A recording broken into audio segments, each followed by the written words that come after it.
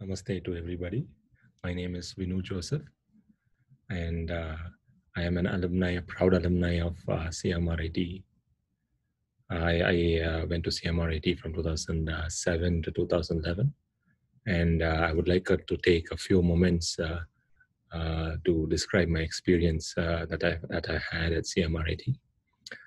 before that, I would I, I, would all I would let you I would I hope you're all safe uh, in this time of quarantine and lockdown.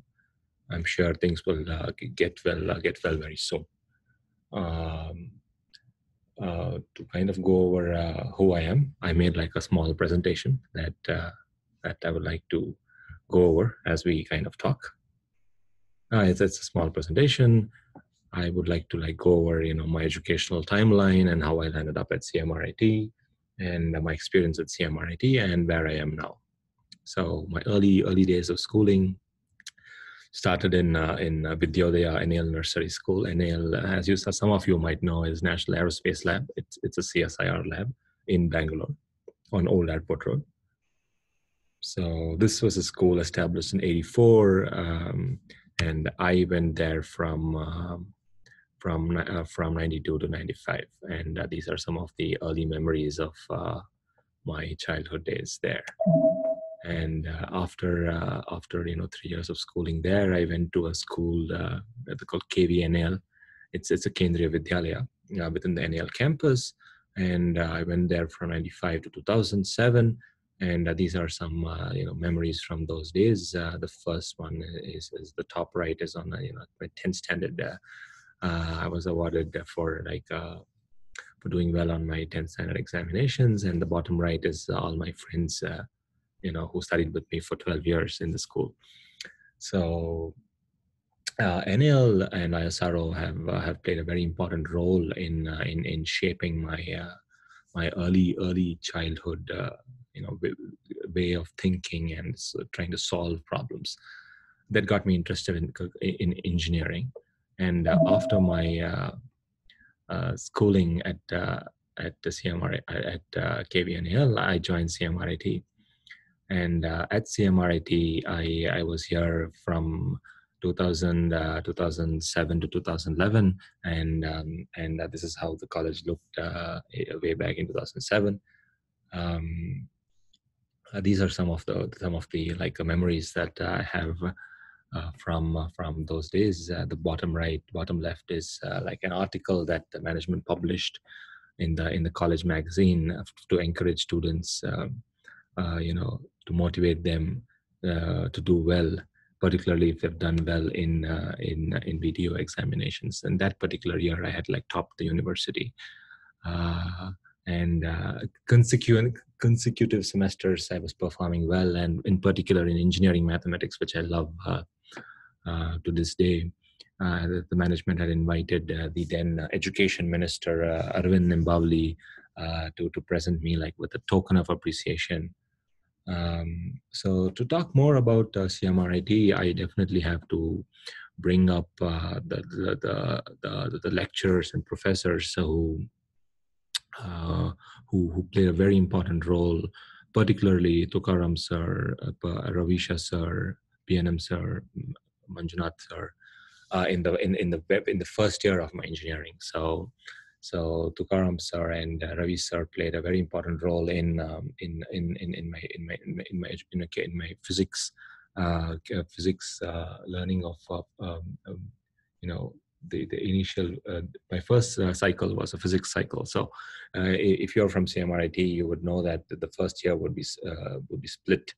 like either you either you would study in physics or would you study chemistry. So my first semester was uh, physics, and then uh, I fondly remember uh, uh Ravi sir handing over, uh, having over my book, like Richard Feynman's uh, book, that that he that you know that's how they encourage students to you know pursue a career in research. So, pursuing a career in research was something. Um, that was inculcated very in my very early stages of engineering.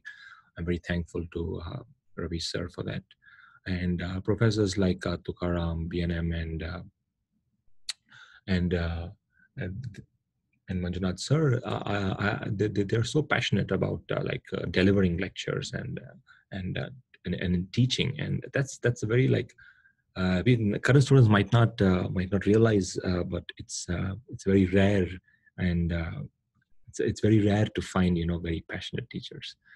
And um, and once i finished my first year um, I went on to uh, the electronics department which was then headed by Indumati ma'am. We had great lecturers like papa ma'am suganya ma'am and sharmila ma'am um, who really like motivated uh, a lot of a uh, lot of lot of us all, all of us during uh, during our engineering days. Um, and um, and and and I, and I would like to say that you know the four years of college uh, at CMRIT was uh, was a really uh, a very memorable experience in, in, in, an academic in an academic sense and also at, at overall you know shaping of like a character as um, as a, as a young engineer, uh, which is uh, what uh, helped me when I went on to um, I went on to get my first job at uh, ARM. Um, ARM is a is a, a low power uh, CPU architecture company, and um, they, they, they compete with Intel now in in uh, in in the CPU space at, at server class as well with 64-bit CPUs but uh, in that uh, so I, I, was very fortunate to join um, arm after my electronics and communication um, engineering at cmrit and uh, you know courses like microprocessor microcontroller um, you know operating operating systems they're all they're all they, they all help me you know secure this job and uh, as many of you will realize later in your career that your first job uh, will probably be uh, the most important decision or most important career uh, stepping stone. Mm, so I was very fortunate to have uh, had the foundations and fundamentals uh, to be able to have cracked the written written test and then the oral interviews uh, because it was a very uh, intense process to get into this uh, prestigious company. After spending four years, um, um, by the way, this company is is is, is very close to our college.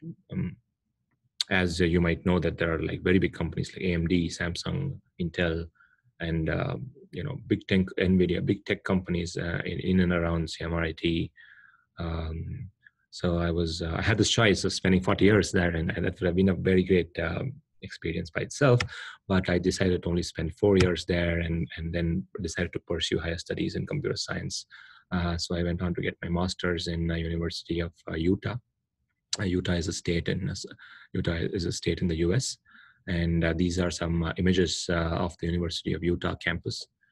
And um, and uh, and I've had like a really great experience getting my master's here. And again, uh, my uh, my basics that that I developed in you know in CMRIT, particularly in subjects like electromagnetic field theory and antenna wave and propagation, digital signals and systems, um, control systems, and um, you know the, the, the, initial days of physics and then um, you know subjects like uh, uh, yeah microprocessor. They really helped me when I, when I was doing my master's in computer science and uh, right now uh, I'm pursuing my PhD since 2017 and um, uh, and uh, my PhD is like is mentored by NVIDIA NVIDIA is a graphics processing unit company. It's, it's, it's predominantly used for computer gaming, and it's also used for life sciences and uh, life sciences codes, artificial intelligent codes, self-driving cars. The GPUs have played a very tremendous important role in shaping uh, the way computer science has uh, has taken over uh, taken over the world in some sense. So on, on bottom you can see you know the headquarters, uh, which is in Santa Clara. So what do I do now? Uh, I am um, a research intern at, uh, at NVIDIA Research Lab. That's where I'm pursuing my computer's PhD in computer science. Now I, I study things like uh, like pattern recognition and, uh, and, and machine learning. And uh, we, we learn from data. Learning from data is, uh, is, is a very important topic. And because in this age of big data and machine learning, uh, we use uh, we, we we try and understand machine learning from an algorithms perspective and implement it uh, in in um, in real systems using GPUs and you know low low power CPUs, and um, so my my initial days at CMRIT um, helped me kind of shape my uh, thinking uh, and uh, you know and the aptitude that you need to be able to solve analytical problems, uh, particularly in in complex domains. Uh, so I was uh, very fortunate to have landed up in a research lab like NVIDIA Research Lab. I would like, and, and and if I look back and then think about, um, you know, how how you know what kind of uh, skills and uh, you know and uh, and thinking ability you need to to be able to deliver deliver a good quality research and a, a good quality papers as a, as a research student. Uh, these were uh, skills that I we developed way back, uh, you know, during my first job and during my during my engineering days at CMRIT. I still uh, I still remember being you know criticized uh, constructively for my uh, initial presentation and initial writing because as very young students you would you would uh, you would not know how to write and produce scientific material. Um, but we really received a lot of constructive um, feedback from professors um, and the kind of discipline they inculcate into you and um, the kind of constructive feedback they give you really helps you shape um, shape your thinking during your early career. And that really has a long term impact on uh, the way you go about solving problems, the way you go about selecting problems to solve, and the way you present, right? It's, it's very important about, you know, not just getting some scientific results, but also presenting it uh, in a fashion that everyone can understand. So these are skills that, uh, you know, um, which, which were developed uh, at a very early, early stage of my career at uh, CMRIT. So I would like to take this opportunity to thank my uh, professors um, at CMRIT, uh, not just my professors, but also the management uh, and, and the staff and lab assistants and everyone involved in making CMRIT what it is. I visited CMRIT a few months back when I was in India for, for a vacation and I, I presented some of my recent research work. So they do encourage, uh, you know, alumni to come back and, and, and, and present their research and uh, I was uh, I was very fortunate for that opportunity, and um, and we had a lot of uh, good interactions with the teachers, with, with, the, with the, lecturers and and students, and so I, had an opportunity to motivate them to pursue higher studies and to have a career like mine. Like I was encouraging them to tell them that I am no, I'm not special in any way. I am an ordinary CMRIT student. Anyone can, you know, uh, you know, pursue their dreams. All they would need to do is you know work hard and uh, and and um, and you know understand uh, the, the, concepts uh, in depth and uh, you know pursue. And uh, with with perse- perseverance would would uh, would would help them you know get get a get a dream career that that they all you know hope for. And and I also met with a lot of my professors it was a very very nice experience. So um, I would uh, I would like to uh, once again thank you for uh, spending your time uh, listening to me for uh, the last few minutes, and I hope you're all staying safe um, in this uh, period of quarantine and lockdown. this will all get get get off very soon, and I hope you all the very best. And and I can once again congratulate the CMRIT management and and all the staff members involved in uh, shaping, um, you know, uh, the curriculum and the infrastructure of CMRIT to be a very encouraging and a very positive environment, positive learning environment, and shaping the, the shaping the lives of uh, engineers and research scientists like me. Um, and I would like to like to thank you all once again uh, for giving giving me this opportunity to uh, give my testimonial. Thank you all and namaste.